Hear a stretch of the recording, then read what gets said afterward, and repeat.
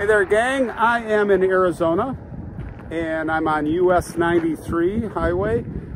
Las Vegas that way, Wickenburg that way. Actually, I'm coming back from Las Vegas and I'm not a gambler. Well, I don't know if you call Texas Hold'em gambling.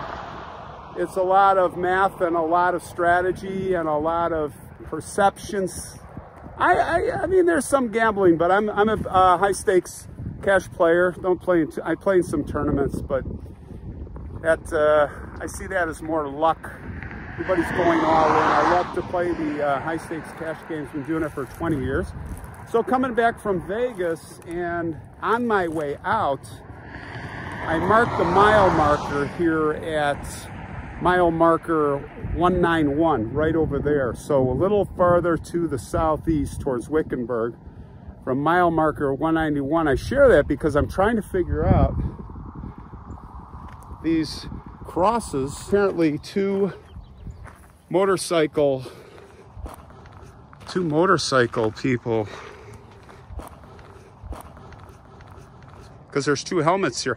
They almost look like snowmobile helmets, but it couldn't be snowmobile helmets. Yeah, Bell. It's our motorcycle helmets.